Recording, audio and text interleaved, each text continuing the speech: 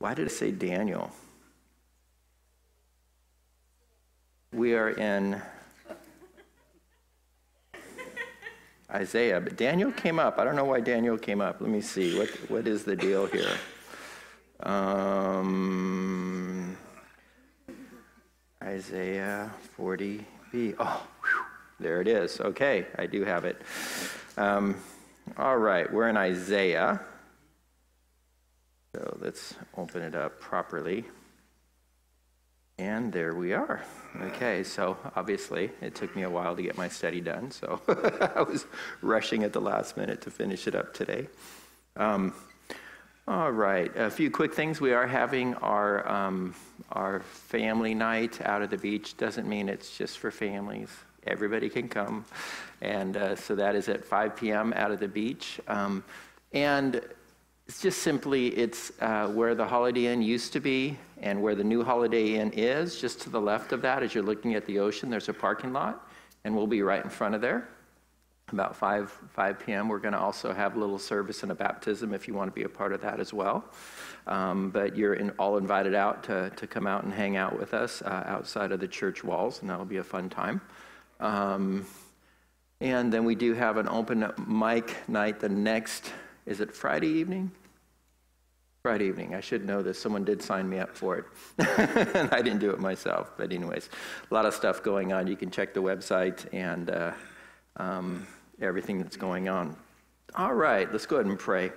Dear God, as we get into uh, this passage and the, the last half of Isaiah chapter 40, Lord, it's just so encouraging. Um, that with the bad news, Lord, you always bring the good news. And the good news just surrounds who you are and your ability to keep us and to save us, Lord. And may it be that, um, that we recognize that, Lord, more and more. That we can meditate on your provision, on your power, on your being, on your love, Lord, for us. And just be thankful that you have created that way through faith in Jesus for us to be intimate with the creator of all things, Lord. And we just acknowledge you, you make everything purposeful, meaningful. And we are just so thankful for that, Lord. So just uh, encourage us tonight, Lord, with the, the wonderful words of Isaiah chapter 40, Lord. In Jesus' name, amen. So we're going to be looking at the second part of Isaiah chapter 40, and you're going to recognize definitely the end of this particular passage. And so, as I spoke of last time, there's a distinct change in Isaiah um, at chapter 40.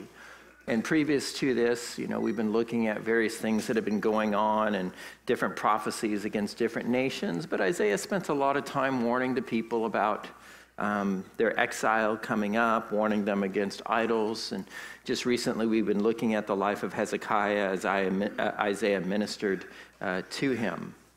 But as we move on, we, we see this tone of hope, and, and, it, uh, it prevails pretty much through the end of Isaiah. And, and here he's going to be painting a portrait of God in order to help us just how just understand how awesome he truly is. And, and, these are the things that you should spend some time meditating on. I, you know, people sometimes consider me an, an introvert. And, you know, as I read some of the things that, like, I, I am, but I'm not. Like, I'm, I'm okay around people and everything. But I just found that there, there's times when I just want to be alone and I want to dwell on the things of the Lord and not just allow my, my, my brain to be frazzled, you know, and, and uh, worried about so many things.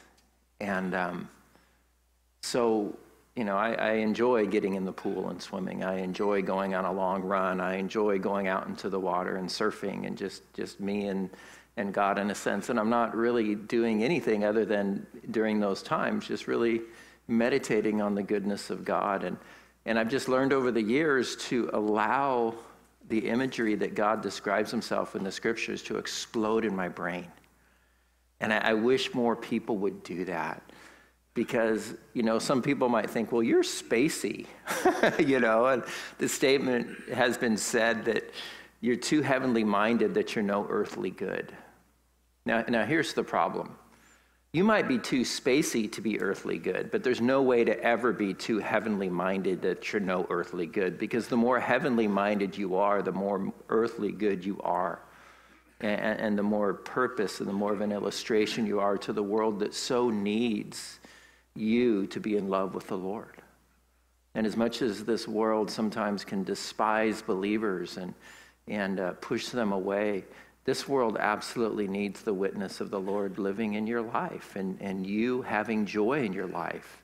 This world absolutely needs to see your marriages getting better or your, your joy increasing and, and to see the sustainability as you go through trials in this world. The world needs to see this. The world needs hope right now, doesn't it? Because the only hope it has is getting old and perishing and becoming nothing and having their name forgotten without God. And uh, so this is just a, a, wonderful passage. And so we're actually going to be picking up in, in verse 12, and it starts to give a little description about the awesomeness of God. It says in verse 12, Who has measured the waters in the hollow of his hand, measured heaven with a span and calculated the dust of the earth in a measure and weighed the mountains in scales and the hills in a balance. So it's been estimated that the world's oceans have 321 million five or 253 and 800 cubic miles of water in them. And what does it say? He who has measured the waters in the hollow of his hand. Now, God doesn't have necessarily a hand. This is called anthropomorphic language or giving uh, uh, something that we can understand, uh, something that we can't understand, human characteristics, so we can kind of get an idea of the size of God. And so, if you pick up a little bit of water in your hand and the, the part that doesn't drip through your fingers, and just stays in the palm of your hand, that is all of the ocean compared to God's vastness, right? And, and that's an amazing thought. And then it says, measured with the span. What's that saying is, and, and again, giving God characteristics of a man, even though he's spirit and he's not formed as a man, even though he appears as, as a man in uh, the Old Testament in Christophanies or Theophanies. And then he actually, um, the Holy Spirit, Jesus came as a man uh, via the Holy Spirit and the woman Mary uh, to create that sacrifice of Jesus. But when it says measured in a span, what? Heaven in a span. And biblically, there's three heavens. There's the, the heaven that, that we can breathe or our atmosphere. There's the heaven that we can see. And then there's the other dimension of heaven where God dwells, where we can't see, or the spiritual realm. But this is speaking of the earthly heaven. And, and if you, you know, merely look at our solar system, it is just one star. Our sun is just one star out of what they guesstimate to be 15 billion stars within the Milky Way galaxy. And the amazing thing is, as they looked out with telescopes, you know, and, and, and as we started to get better with, with magnification and all, they started to look out and they go, man, there must be thousands of galaxies with billions of stars in them. But the better telescopes get, guys, the estimation of the amount of galaxies with billions of stars in them gets into now they're up to 40 billion galaxies. I remember just a few years ago, it was 15 billion galaxies they guesstimated with 15 billion stars in each one of those galaxies.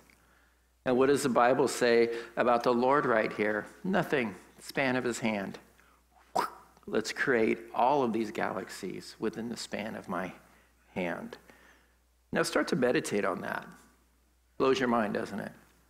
It just becomes overwhelming.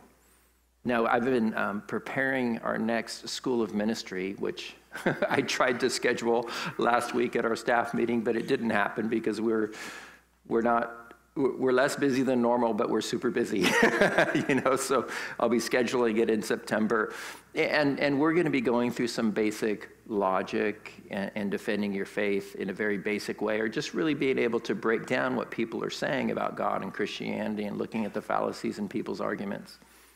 And then beyond that, the next class we're going to do is called Theistic Apologetics, and we're going to be looking at the fact that there has to exist a God. If we exist, God has to exist. Because we are contingent beings. We don't exist on our own, we are created. But there's one non contingent being in the universe, and it has to be so by basic logic, and that is God. And everywhere that anything exists at all, God has to be, or else it could not exist. And this is true. So, what does that mean? God exists between here and our moon, hundreds of thousands of miles away. Why? Because radiation and light exist out there. Therefore, it couldn't exist unless God was there. And what about between us and the sun? 93 million miles between us and the sun. But what's between us and the sun? Well, all kinds of radiation. If you get sunburned, you know, all kinds of, of lights and light waves and all kinds of things floating out there in a few planets. And those things couldn't exist unless God existed in that 93 million miles. And that's just to our sun. Go to the edge of our, of our own solar system or go to the next star. And you start talking about light years of travel and thousands of light years of travel to the nearest sun, the nearest star. And there's 15 billion of those hanging out there, and God is everywhere around them. And then you start to understand this is God, and this is our God. And it's just amazing and it's good every once in a while to think about the vastness of the universe we live in. Remember, David said, When I look at the stars and I consider the heavens, Lord, what is man that you're even mindful of him? And I don't know if you've ever watched a video, but they have videos that, that just look at the, you know, the galaxy, and then they, they go down from the galaxy to our sun, and then they go down from our sun to our planet, and then from our planet to our continent, from our continent to our city, from our city to the person, then to the person, to the cell in the person, right? It's just this, shoo, and God created it all. And it's not out of control for Him. And it's good just to understand all the oceans are just in the palm of his hand. The, the universe is in the span of his hand, and he's also outside of it. And then we begin to look at our lives, and sometimes our lives seem so random, but the fact of the matter is, God tells us that He has our lives in His hand. You know, someone described a circumstance as this, Warren Wiersbe actually. The circumstance he described as what?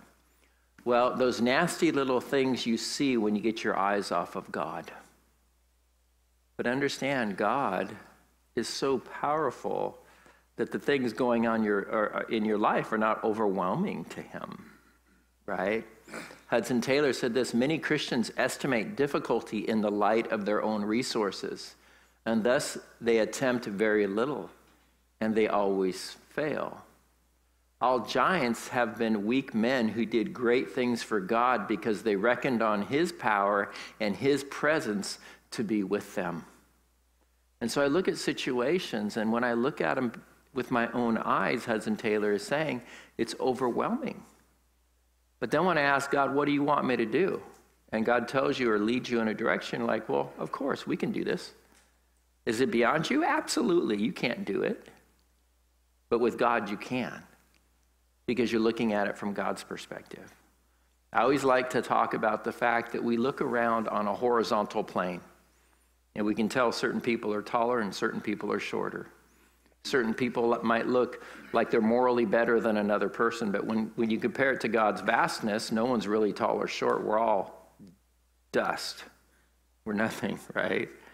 And, and, when you look at people's moral aptitude, you know, you, you, you, take Mother Teresa and you take Hitler compared to God's righteousness, they, they both need saving. And that's what the book of Romans is all about. God is so righteous and so awesome. So the question isn't how big are your problems, the question is how big is your God? Right? And even when you get to the point of the end of your life, and I've walked with so many people through the end of their life. And my question always is are they saved? are they saved? And it's never an easy time, and some people struggle with it. God, God made us struggle with death. Why? Because He's the author of life. Death came by our choice. And so death is a struggle, and there are death gasps and things like that because it's not part of God's plan, initial, original plan. But since we sinned, it had to be a part of His plan, or we live forever in our sinful state, which would be miserable. And so He created a doorway through death for those that love Him that we might step into eternity and get a new tent and get a, get a new life, get new DNA. And it is so different when someone is strong in the Lord and they approach death. Again, it's never pretty and it's never super easy. But I've been around it enough to know the biggest question I have is do they know my God? Because my God is vast and he's taken away the sting of death. And he easily does so because he gave us life in the first place. And this is our God. And this is so encouraging to think about how awesome God is. You know, when COVID hit, one of the things it did was it gave a, a, a huge ability for us to, to really look at our own souls. How afraid are we really of death, or how afraid were we at death? Because when it started, it's like, oh no, what are we going to do? Now, I tell you what, when, when, my, when my dad broke his neck um, falling off of a roof, it really rocked my world. It really did rock my world. And, and it was a test for me, for me to realize obviously God was doing something in my father's life, my siblings' life, my mom's life, everybody's life. He uses everything in everybody's life. He is able to do that. But he gave me a, a, he gave me an update, a medical update on the spiritual state of my soul. And I realized, wow, I thought I was a lot stronger than this because it rocked my world so much, right? And uh, so when, when COVID hit and everybody's like, okay, so we get this thing, this is a plague, and everybody's going to die, right? Pretty early on, I looked at my wife and I said, my life is people, and God never told me not to love people. And so if I die loving people, that's God's will. I'm just going to love people. and God's got this thing handled. We have no idea, the CDC or nobody had any idea. But God wasn't confused and God wasn't surprised, and He's still my God. And so I wanted to be wise, and I certainly did not want to be fearful because perfect love casts out all fear, and God loves me perfectly. And so it was good to be wise. I gave a sermon Don't fear, be wise. And I had people upset with me because I gave that sermon. Because they're like, no, we should be afraid. No, Christian, you're not supposed to fear. Why? God's got it handled. God's, God's got it handled. And you know what? This ain't heaven. Paul said, We know that if we die, we have a heavenly tent waiting for us in heaven, not made with man's hands right? Not knit in your mother's womb. He is recreating your body without DNA that makes you sick or that gives you cancer or that can allow you to sin anymore. You won't be doing those things and you won't be dying ever again. You know, and, and Paul looked forward to that. And Paul said, Man, I'm hard pressed between these two things. Man, I can die right now and be in paradise, or I can stay here and keep serving the Lord. Man, it's a hard thing. Man. But our goal is to grow more and more in that direction, to grow more and more and uh, more and more useful to God. So, what am I saying? I'm saying dwell on God's vastness, His power, and also His love, as, as we're going to see. We need to ponder the things of the Lord. The next question is in verse 13. It says, Who has directed the Spirit of the Lord? Or as his counselor taught him? With whom did he take counsel, and who instructed him and taught him in the path of justice? Who taught him knowledge and showed him the way of understanding? So this is this is talking about the knowledge of God. So let's just get beyond his vastness, because everywhere God is in his vastness, he is also all knowledge. He is wise. And who can become his counselor? Paul was a brilliant man from what we can tell. So brilliant, sometimes he writes super long sentences and we can't figure him out, you know? But he was this brilliant man. But he loves to quote this idea. He, he quotes it twice in Romans 11:34 and 1 Corinthians 2:16. Who has become or who dare can counsel God? Remember the last chapters of Job are like, Job, who, who are you really? Come on, let me remind you who I am. And who can ponder the depth of the knowledge of God?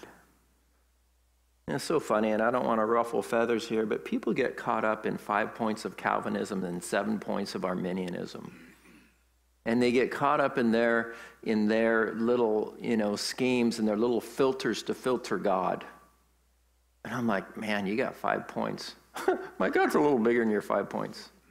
My God's also a little bigger than your seven points. Uh, you know, and, and you're telling me you got it all figured out, but then you got to excuse away other parts of the Bible that you can't even begin to understand. And I tell you what, I, I've been on both sides of that argument, and I would argue both sides of that argument. And it was so freeing once I, once I gathered enough understanding of God under my belt to say, I can't understand the fullness of God. He is beyond me. And it was so freeing to go, Whoa, God, whatever you send my way, I want to learn and I don't want to filter it away. I want to know your awesomeness. And I want to trust in all of what you say without putting blinders on so I can't see other elements of the depth of who you are.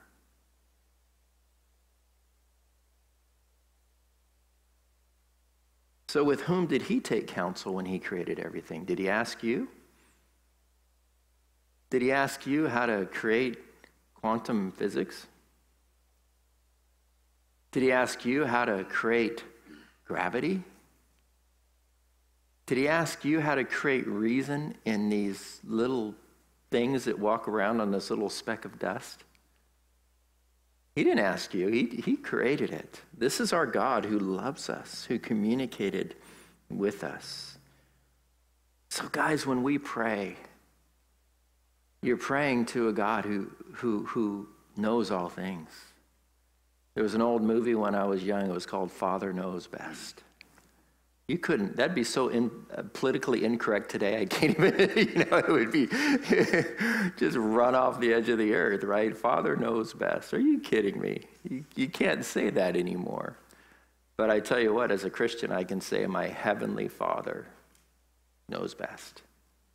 And there's, there's just no doubt about it. He will always know the right direction. He always knows the right tension to put on us, too. And sometimes, you know, eh, it's often said, you know, God is never late. I love that.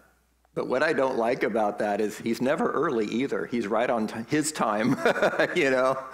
And he wants me to be patient at times because he, I'm learning lessons in the waiting. There's a point where David says, I waited upon waiting upon the Lord. And he says, I'm busy waiting upon the Lord. So I'm learning lessons even as I'm waiting upon the Lord. And, as we wait for the Lord, there's lessons to be learned. There always is something going on, and He knows perfectly exactly what you need.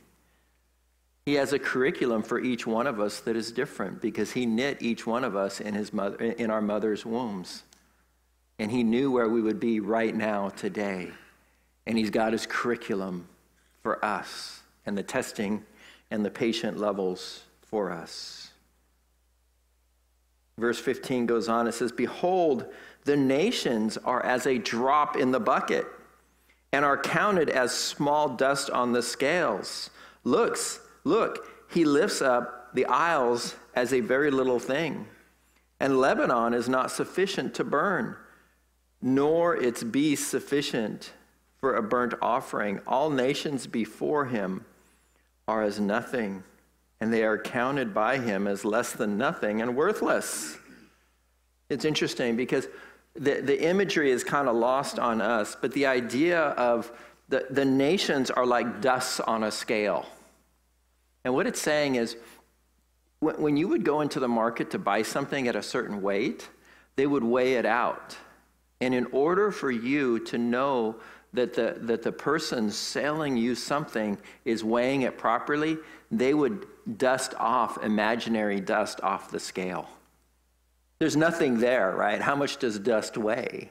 And so what that, that is referring to an ancient idea of getting any extra speck of dust to know that the person is being fair. And what does he say? He says, the nations are like dust, scale dust, which is absolutely nothing. So we look at great nations, or we look at nations that are, you know, popping their heads up around the. What, what, is, I, what is Iran to God? What, what is their, their nuclear arsenal? Now, I'm not saying that we, we shouldn't be concerned about that politically. But personally, as a believer, God knows what Iran is trying to develop and that they hate Israel. What, what is this, this crazy man in, in, in North Korea to God?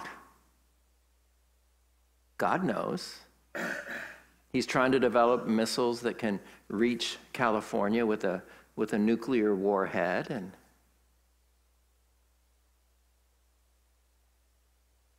I don't live in California not because of that. They're crazy politics, maybe, but not because of, of worrying about this guy. Because God knows. What, what are these people? God knows the end from the beginning, and He knows how to protect those that are His. And if a nuclear bomb was to drop on my head, I wouldn't show up at he- in heaven a minute early or a minute late.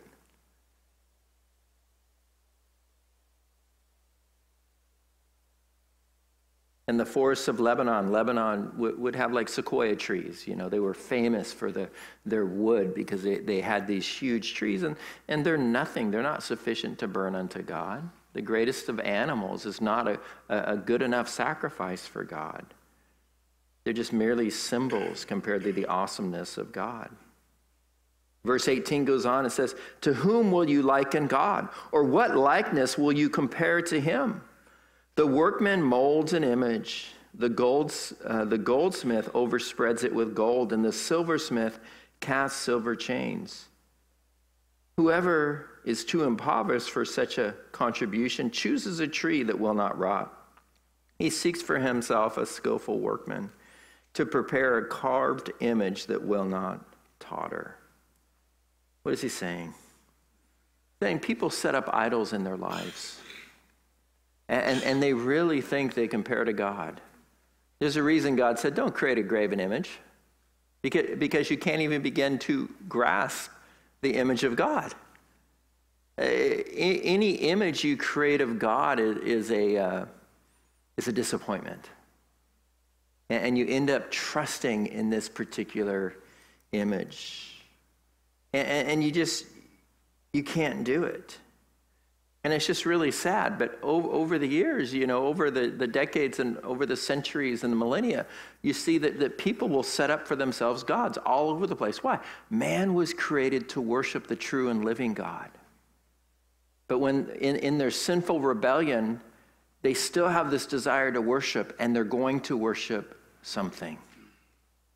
And every culture worships something. The official religion of the United States today is humanism, worshiping of self, worshiping of, of humanity. We can solve any of our own problems. How's that working for us? The problem is we're sinful and broken, and all we do is multiply it. And that, the, the higher we raise our own wisdom above God's, the, the bigger trouble we get in. And we're just proving it right now, right? But we can make our own selves an idol, which is foolish. I know myself. I'm certainly not an idol, you know. And it's a scary thing, right? I, as you get older, and if you're younger here, understand this. You're going to get older and you're going to realize I'm of average, I might be of higher intelligence, you know, maybe I have a college degrees. And, and you think about this, and then you start thinking, oh my gosh, I know me. And people my age and even younger than me are running the world. That's really scary because I know me. And I'm like, oh my gosh, we are in a precarious place. Lord, keep me. you know, hold on to me because it is it's just crazy, right? But I have God and others have idols.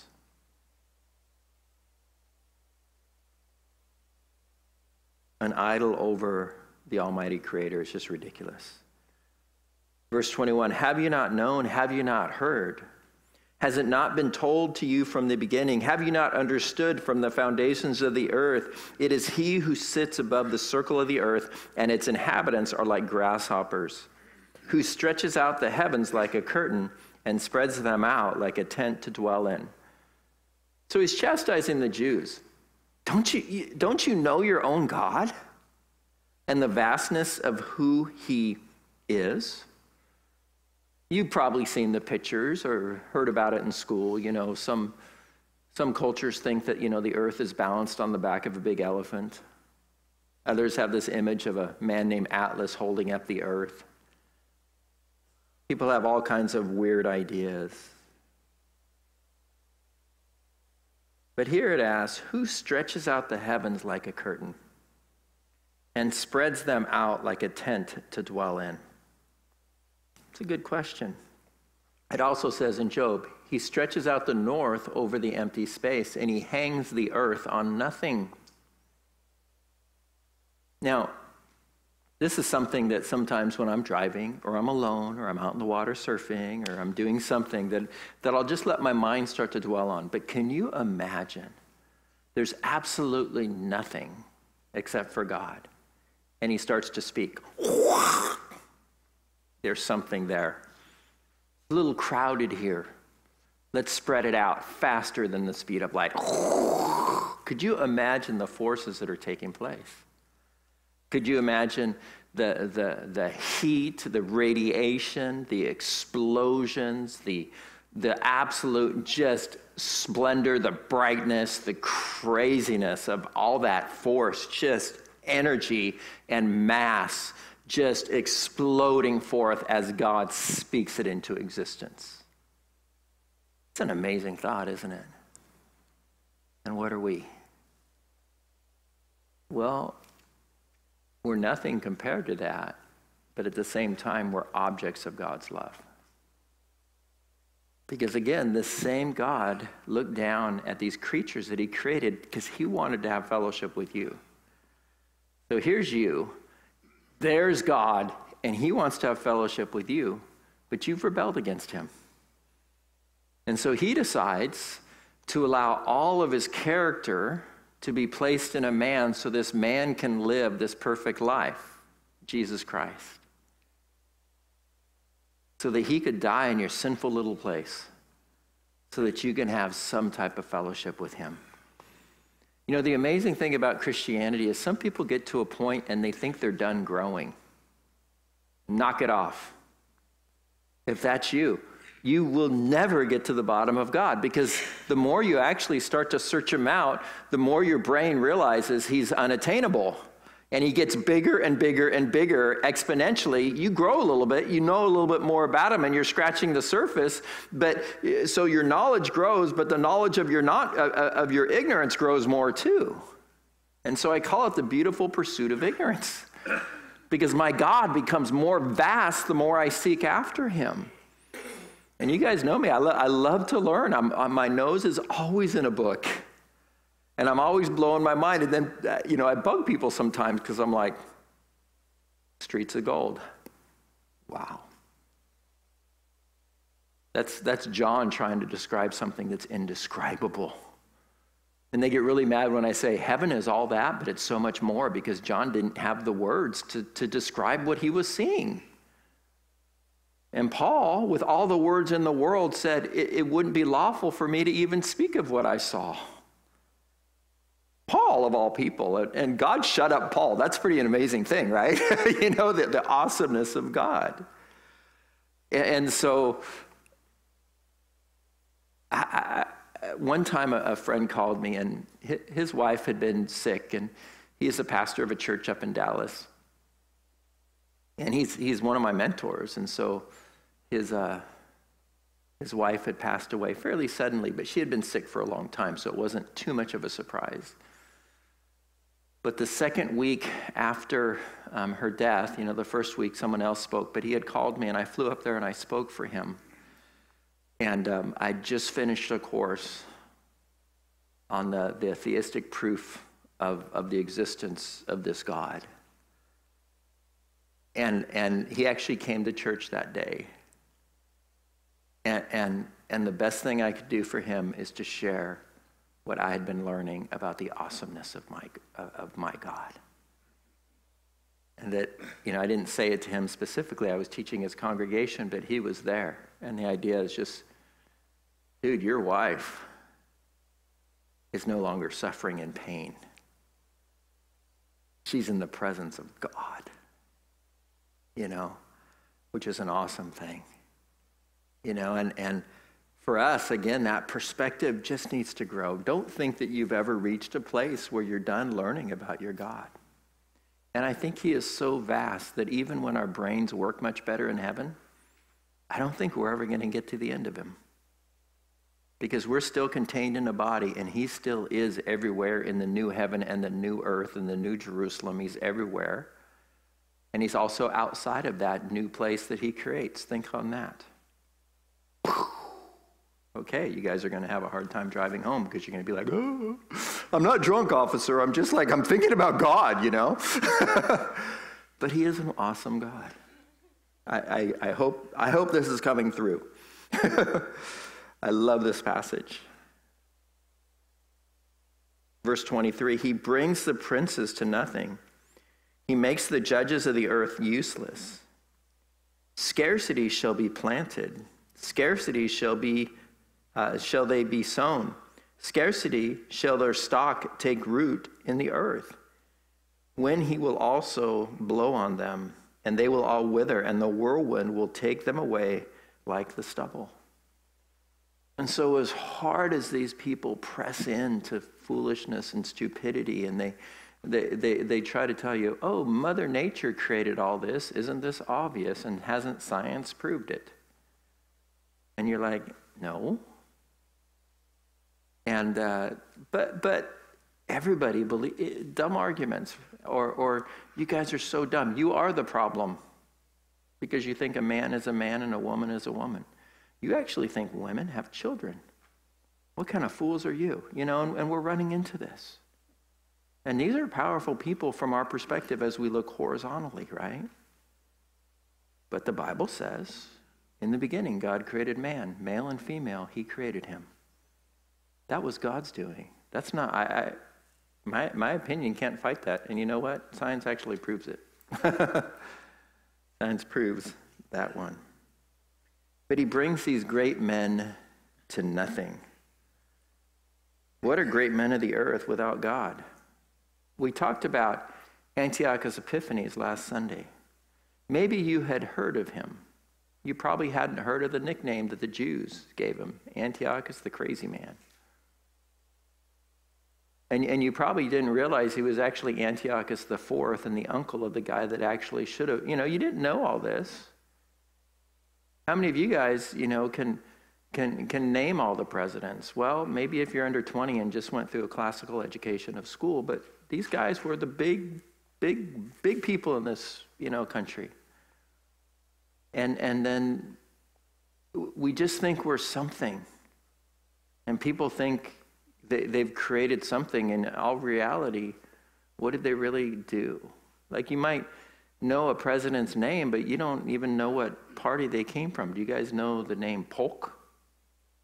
Uh, some of you recognize that. Yeah, Polk. You know, what kind of president was he? But he was the president, right? And, and so we, we build this up, but without God, what are we?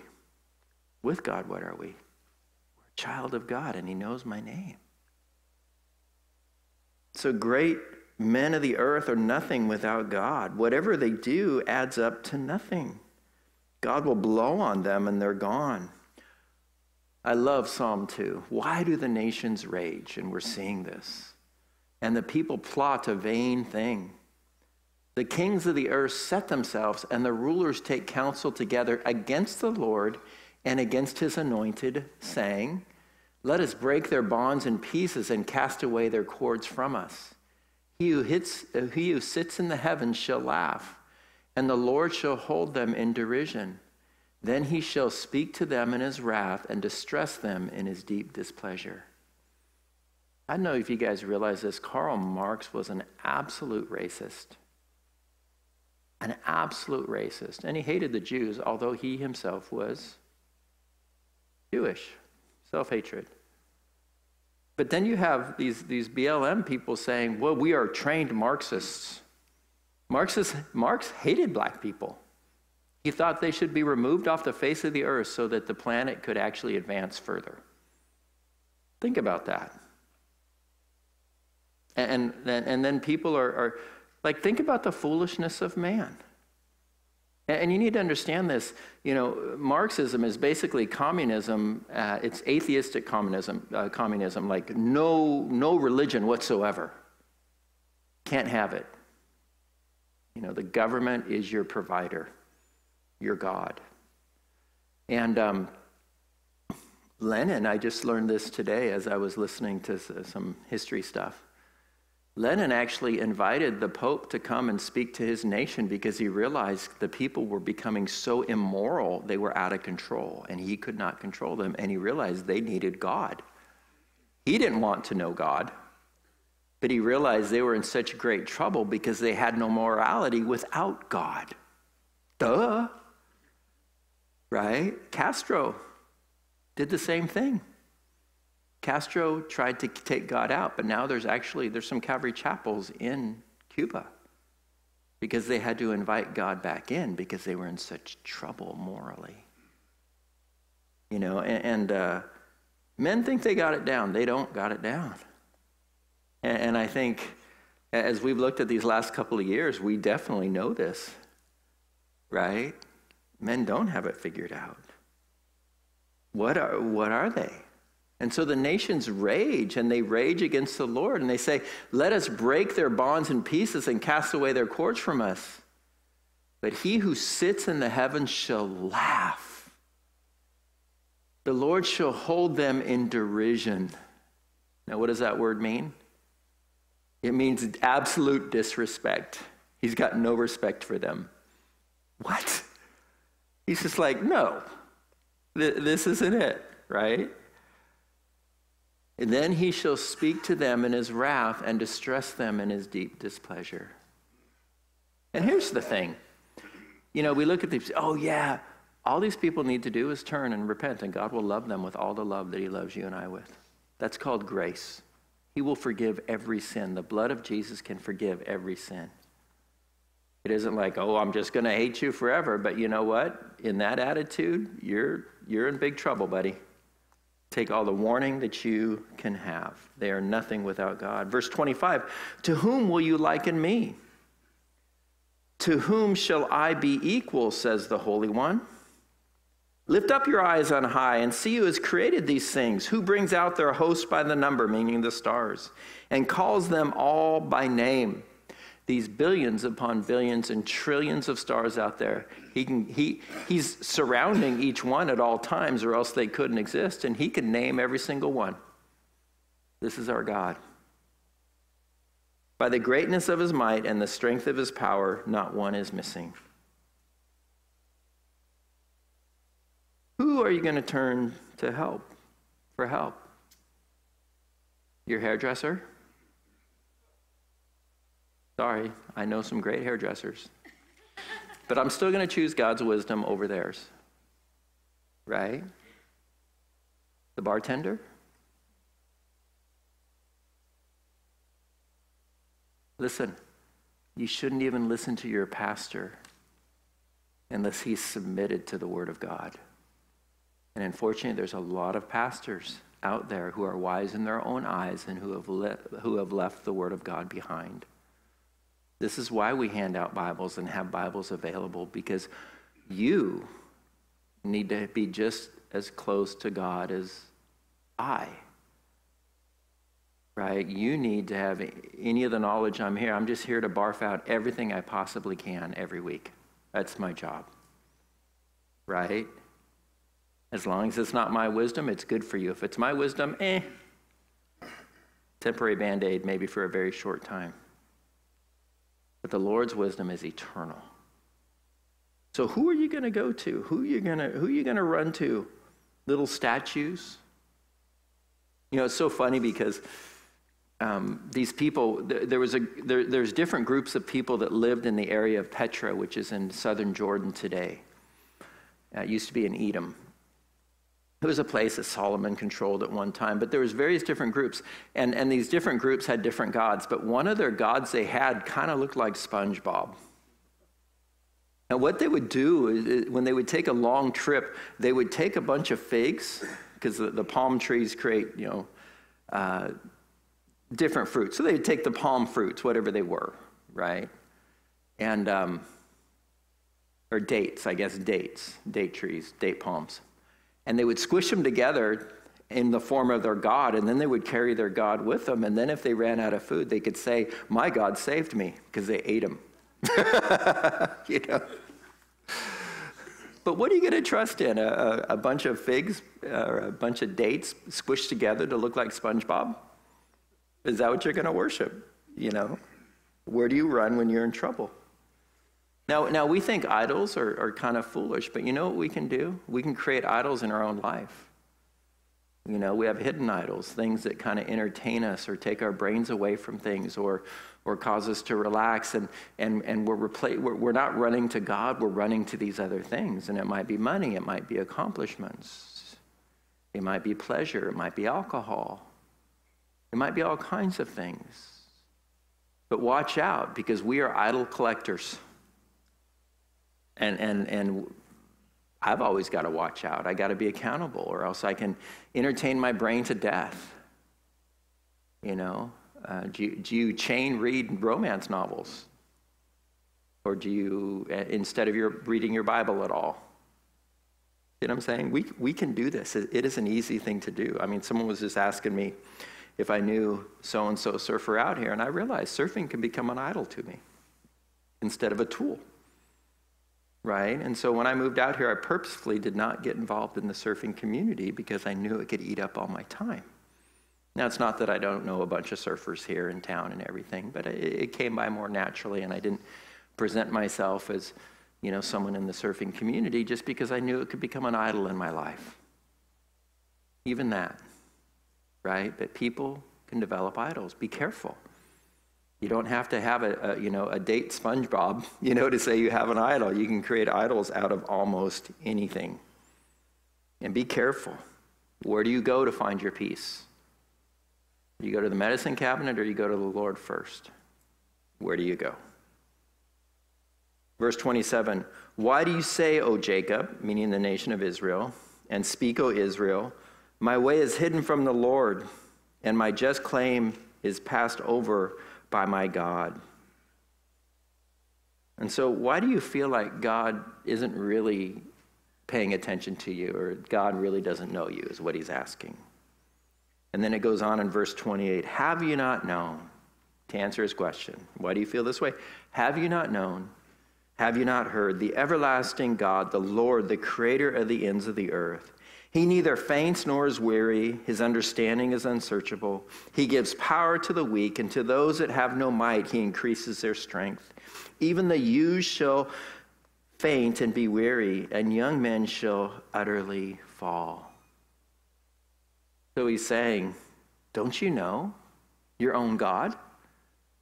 That he, he never grows weary, he doesn't faint, but he gives power to those that might faint, might grow weary. His understanding, it is unsearchable. It is beyond our ability to even begin to, to understand. For my thoughts are not your thoughts, nor are your ways my ways, says the Lord. For as the heavens are higher than the earth, so are my ways higher than your ways, and my thoughts higher than your thoughts. Such knowledge is too wonderful for me. It is high, I cannot attain it. Great is our Lord and mighty in power. His understanding is infinite. Oh, the depth of the riches of both the wisdom and the knowledge of God. How unsearchable are his judgments and his ways past finding out. And I tell you what, when you run into people that have God figured out and they're judging you, it's like, no. Right? Because Isaiah, Isaiah, Psalm, Psalm, and Romans, and there's many other places. Job, chapters of Job, just say, you, you don't got it. God is God. And if God is God, you cannot figure him out completely. If you could, you, by definition, would be God. And he is beyond us, he is above us. But the thing is, he gives us so many reasons for us to trust him. And so the fact that he is always the, the, for, for my ability to grasp all of God, it's just not there. And it, it just gives me such freedom. Sometimes people ask me a question, I go, huh, I don't know. I, I've never thought about that. And they look at me like, You're supposed to know you're a pastor. I'm like, No, I'm just a human being who happens to be a pastor, but I, I can't know everything about God. I can't answer every question. And I tell you what, as a young man, I thought I had to have everything nailed down. And, and I always tried to figure everything out. But even yesterday, we were just, we, we, we were trying to give an illustration of like, like, you know, how does God know everything and then us still have free will? And it's like, I can give you a thousand illustrations, but every single one of those illustrations is something me as a man tries to understand. And at a point, it still goes, and my brain still fries. I don't get it at a point. It just, okay. You know, what is the Trinity? It's like an egg. It's like a piece of paper. It's height, width, and depth. It's, it's like this, you know, and I have my way of describing it, but even my way of describing it, you know, after all these years of kind of rejecting all those other ones, uh, He's God. I'm not. I'm one person, you know, and I live in my own little head, you know my sinful little head, and I think I have it figured out. But in ultimate reality, He's God. And it is so nice to allow Him to be God. I just want Him to keep on teaching me. And as long as I'm open, He's going to keep on revealing Himself to me. Once I think I have it all figured out, oh, you know it all. You guys ever run into a know it all? and, you're, and you're like, okay, whatever. you know, you just got to do that, you know. But if people are, are hungry for your knowledge, man, you're, you're gonna you're gonna want to, to share with them all that you can if, if you actually have some knowledge to give them. It says, even the youth shall faint and be weary. I tell you what, people, people think that, that I, as I approach 60, have some energy, right? I watch the little kids after service around the church, and I'm like, I am so ready for a nap. And they are running so hard, their faces are all red. I'm like, man, I always say to live life backwards, to have knowledge and energy at the same time. it's such a frustrating thing, right? Because when we have energy, we're not very wise, and when we're wise, we have no energy left, right? But even you, Lo, you, you, you watch these little kids, and you know, and, and I've raised children. Eventually, they they they knock out. You know, as much as my dogs want to fetch and run and walk and everything else, man, a few minutes later, they're laying on the kitchen floor snoring. You know? But not God. He never grows weary. And the beautiful thing is, the last verse is those who wait upon the Lord shall renew their strength. They shall mount up with wings like eagles. They shall run and not be weary. They shall walk and not be faint. It is such a blessing to seek to serve the Lord. And listen, I have slowed down immensely. I'm in it for the long haul. I want to minister until the day I drop, right? So I, am I'm, I'm trying to be wise with this, but I know if God has something else for me to do, He's going to give me the energy and He's also going to give me the wisdom to do it. I was on a, a, phone call with a friend of mine and some other guys that are much younger than both of us, you know, but my friend is seven years older than me, just, just turned 65, and he's a pastor. A couple years ago, he's thinking about retiring, and he goes, I ain't going to retire. And so I was on this phone call, and, and we're making plans with these younger men, you know, to plant some more churches and to see how we can minister to more people as, as a group of churches, you know. And so we had this, this, uh, this meeting, and I was just so blessed to see my friend, who's seven years older than me, still making plans for the future because he wants to see God move and he understands this. And, and uh, he's a mentor to me, and, and, and I love him. And uh, I'm just so blessed to see that. You're not done until you're done, right? And if he has something for you, he's going to give you the proper energy for that particular thing. Again, he makes us wise. If you're older, Minister to the younger. Minister to those that have energy. The key to our church remain, remaining united is not having different worship services, you know, for the old people and the suit and tie, you know, and then for the younger people, you know, in their 50s and 60s, and then, you know, have, have a worship service for those in their 30s, and then have another worship service for those, you know, we'll do rap worship for the younger ones or what. I, the idea is as you get older, be filled with more love and more grace and minister to those that are young and dumb with a lot of energy. And be their, be their, be their, be their wisdom. And, and I've been blessed. I've, I've always had older, older men pouring into me, and I still do today, and I'm still blessed. But I realize I'm an older man, and I need to pour into those that are younger, and that's my heart. And they can do it. That's how the church stays united, that we're a team and uh, live in a respectable way so the young people can respect you. They'll see right through you if you're living it like a hypocrite. But the Lord's promise is this those who wait upon the Lord shall renew their strength.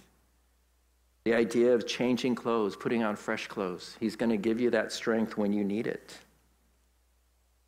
And He's going to take our weaknesses and He's going to, he's going to turn it into His strength. William Carey missionary to India, he said this. He said, I can plod. I can plod. That's my only genius. I can persevere in any definite pursuit. To this I owe everything. I can plod. It was funny when I was uh, when I was starting to pursue uh, further education. I was talking to um, actually your son-in-law, Bernie. And he said, You don't need to be smart to get a doctorate degree, you just need to be persistent. And you know what? He was right. He was right.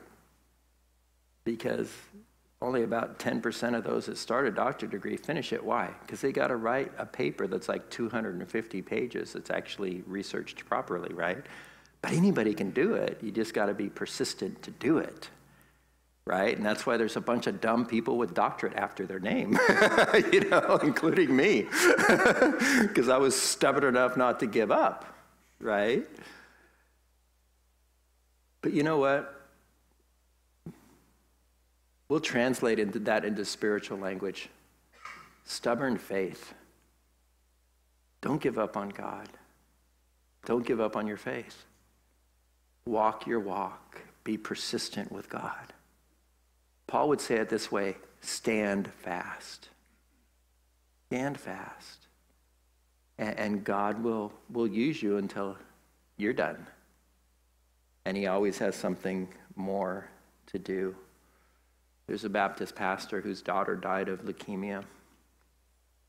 The pastor went up and he taught the very next Sunday.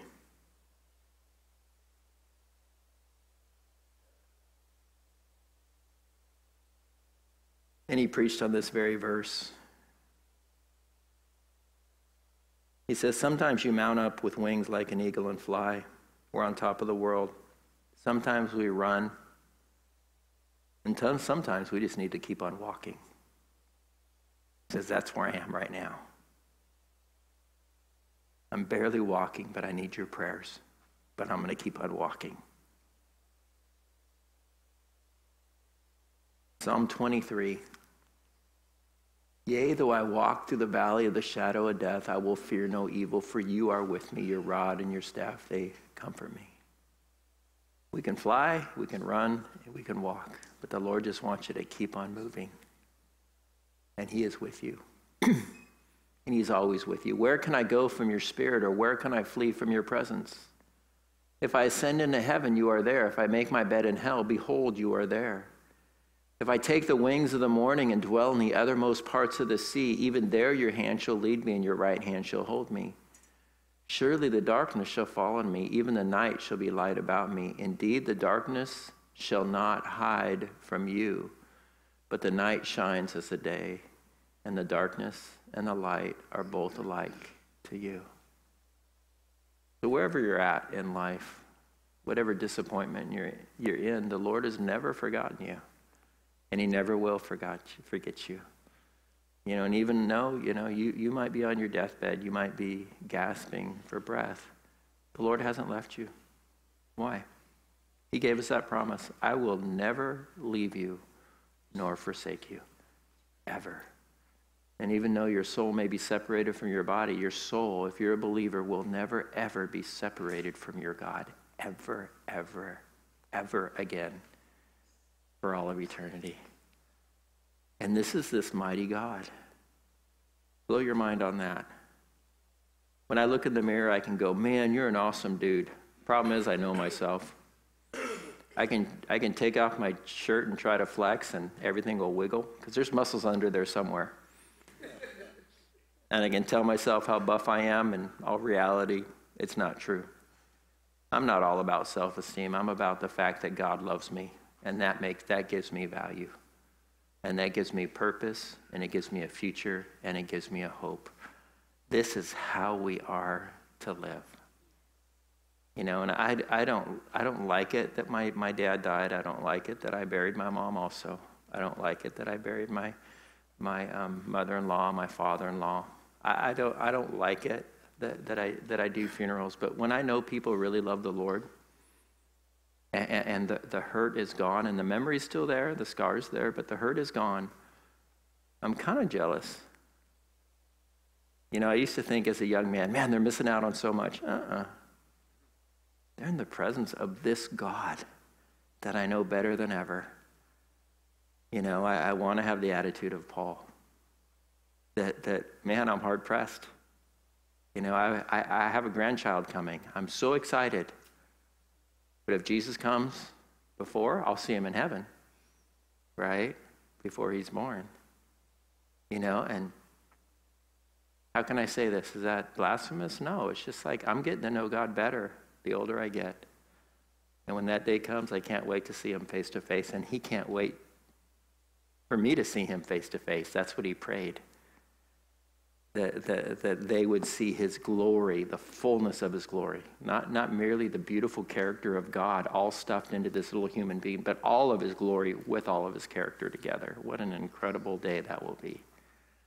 Let's go ahead and pray, and then we'll close with a song. Dear God, we, um, we thank you for the encouragement. Lord, may it be that we absolutely do just dwell on your vastness your creativity, your knowledge, your love, your personableness, your care, your tenderness, your attention. And Lord, when we face this world, may we just know to us, things surprise us. To you, you laugh with disrespect. and uh, may we just hold on to you and, and be wise and not fearful in these wild times in which we're living.